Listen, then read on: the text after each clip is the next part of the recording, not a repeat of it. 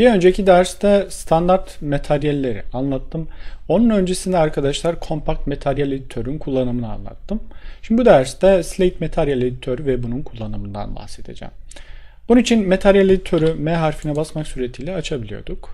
Ya da bu alanda main bar üzerinde eğer e, kompakt materyal editör aktifse bu alandaki e, düğmenin üzerine mouse'un soluyla basılı tutmak suretiyle alt seçenekten buradan Slate Material Editörü seçebiliriz.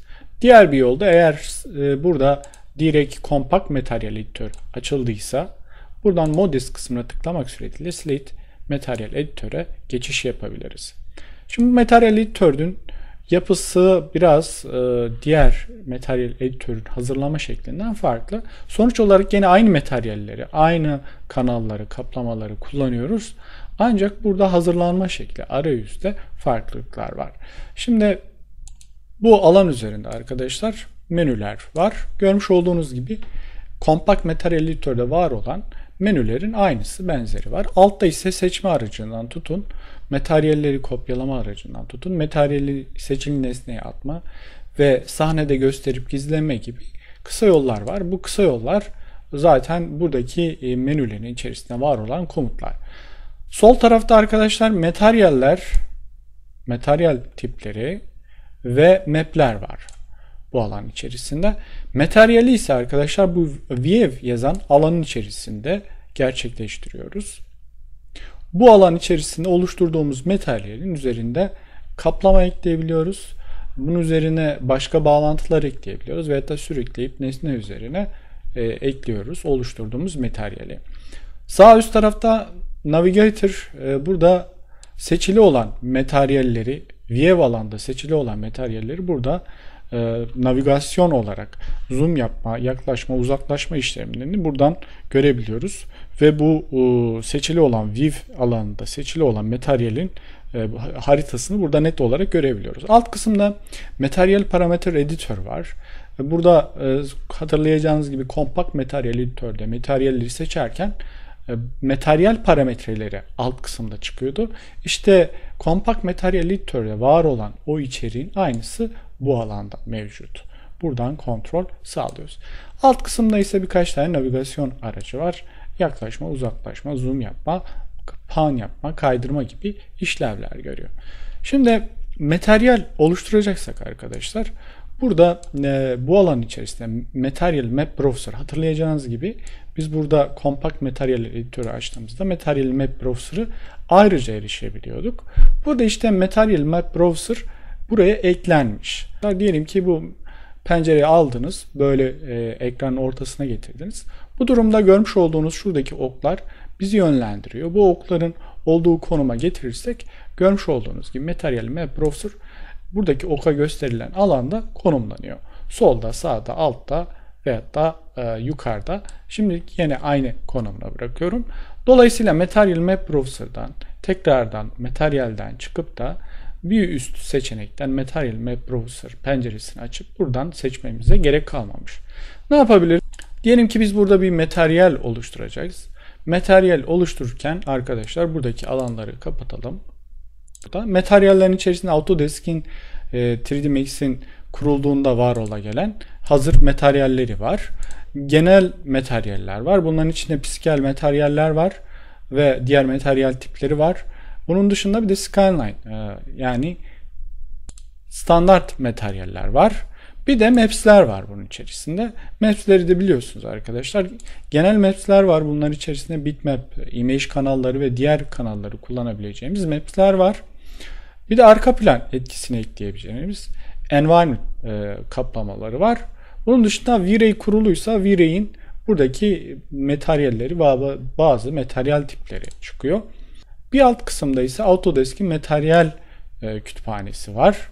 E, buradaki alana tıklamak suretiyle gruplandırılmış materyalleri buradan tıklamak suretiyle erişebiliyoruz. Bunlardan bir tanesini sürükleyip mouse'un soluyla e, View alanına bıraktığımızda materyali bu harita şeklinde bu alana bırakmış oluyor ve buradan düzenlemesini yapabiliyor. Şimdi bu materyali seçip delete ile silelim. Bu alanda silme işlemi bu şekilde arkadaşlar.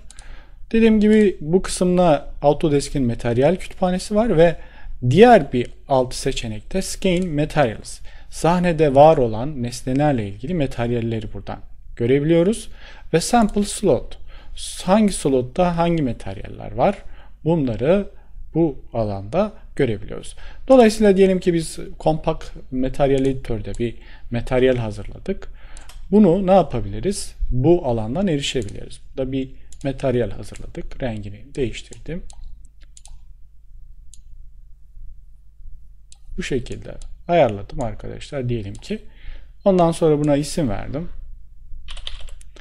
Sonra Modes kısmına gelmek suretiyle buradan Slate Material Editör'e geçiş yaptığımda bakın bu kısımda e, en alt e, kısımda yer alan Sample Slot'ta tıklamak suretiyle burada kompakt materyal editörde hazırlamış olduğumuz materyali bu noktada görebiliyoruz. Şimdi bir tane materyali sürükleyip View alanına bakalım ve bunun üzerinden kontrollerini sağlanabileceğini anlatalım. Diyelim ki burada genel materyallerden piskel materyal oluşturacağız. Bu materyali alıp da buraya sürüklediğimizde materyallerle ilgili görmüş olduğunuz e, parametrelerin hepsi bu alanda açılıyor. Bu alandaki materyalleri arkadaşlar e, diğer detaylarına erişebilmek için mutlaka bu materyalin isminin üzerine çift tıklamamız gerekiyor. Buna çift tıkladığımızda e, bu navigator kısmında bunun alanı görüntüleniyor. Görmüş olduğunuz mavi alan buradaki materyalin parametrelerinin olduğu kısım. Alt kısımda ise materyalin parametrelerinin olduğu bölümde burada kompakt materyal editörde var olan e, buradaki parametrelerin hepsi e, bu şekilde e, görünebiliyor. Şimdi materyali diyelim ki nesneye atayacağız. Nesneye nasıl atayabiliriz? Hafif bunu sağa sola ekranın uygun bir yerine taşıdıktan sonra şu şekilde buradaki noktaya tıklamak suretiyle sahnede var olan nesneyi atabiliriz. Bu şekilde nesneyi uygulayabileceğimiz gibi CTRL-Z ya da burada arkadaşlar sahnede nesne seçiliyken burada materyal zaten otomatik seçili oluyor.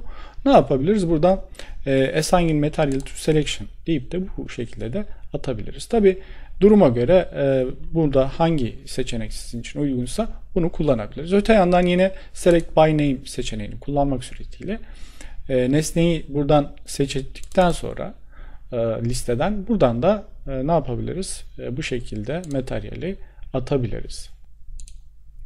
Şimdi arkadaşlar burada select materyal editörü e, kullanırken diğer bir seçenekte Vive tabları eklenebiliyor. Buraya boşluk alana sağ tıklayıp da Create New View dediğimizde Viv 2 isimli bir pencere açılıyor. Buradan da e, materyaller oluşturabiliyoruz. Diyelim ki buraya Autodesk'in materyallerini oluşturacağız. Bu şekilde bunların mapsleriyle diğer kanallarıyla beraber geliyor. Bunlara tıkladığınızda bunları görebiliyoruz. Bakın parametrelerde bu şekilde görebiliyoruz. Mapsler buraya tıkladığımızda mapslerin parametreleri çıkıyor. Bu arada buradaki hani slotları büyütüyorduk hatırlayabileceğiniz gibi kompakt materyal editörde. Buradaki slotların üzerine çift tıklamak suretiyle bu şekilde büyütebiliriz. Üstteki araçları kullanarak arkadaşlar buradaki alanlardan bunun arka planını aktif edebilir e, ve e, veyahut da atılan nesne üzerinde ekranda görünmesini sağlayabilirsiniz. Tabi bunda zoom yapma işlemleriyle görebiliyoruz. Mouse'un ortasındaki tekerleği e, kullanmak suretiyle bu zoom in ve zoom out işlemlerini gerçekleştirebiliyoruz. Eğer seçili bir e, materyali silmek istiyorsak bunu komple şu şekilde seçtikten sonra delete ile silebiliyoruz ya da buradaki buton aracılığıyla materyali view alanından silebiliyoruz. Yine arkadaşlar Slate Materyal Editörü bir pencere olarak düşünün. Bu pencereyi küçültüp büyütebiliyorsunuz arkadaşlar. Bu şekilde. Da yanlışlıkla buradaki pencereleri diyelim e, kapattınız. Bunları yine buradaki tools seçeneğine gelmek suretiyle materyal e, diğer e, parametreleri ve navigator'ları bu şekilde açabiliriz. Ki pencere arasındaki alanları bu şekilde yukarı aşağı e, çekiştirerek büyütüp küçültebiliyorsunuz. Map Browser'ın ve View alanını bu şekilde e, daraltıp büyütebiliyoruz.